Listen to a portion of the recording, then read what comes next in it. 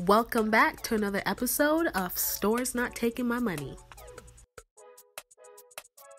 In this DIY, you could start out with a old tank top. I've had this tank top for a few years from Forever 21. It was a dollar and a couple cents or two dollars, but this color is really pretty and I have a bleach mark on it. So we're gonna remake this shirt.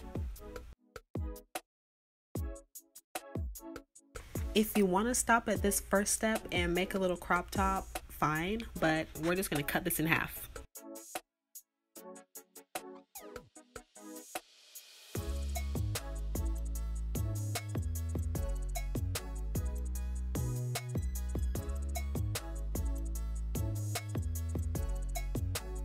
Now for the easiest part, we're just gonna make the ribbon. I'm just gonna flip this little strip inside out sew it together. You could use fabric glue. That was my first choice to make this ribbon, but then I realized I didn't have my fabric glue, so I ended up sewing it. But you could blunt cut it or do a little slant like I did, whichever you prefer, but just make sure it's long enough so we could place it in the middle.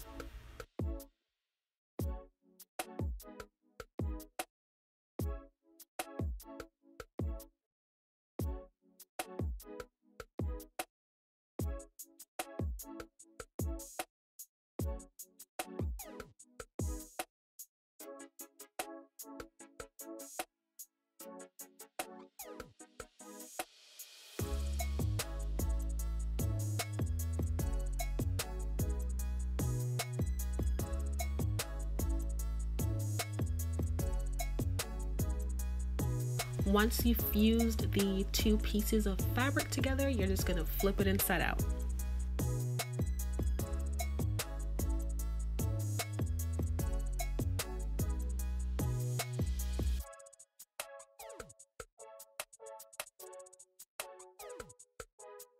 Guys, this DIY is so easy. Once you're done making your ribbon, all you have to do is tie a knot in the center of your shirt.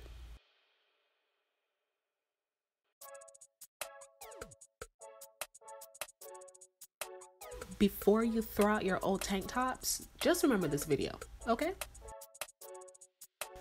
Thank you so much for watching and I'll catch you in my next video. Bye.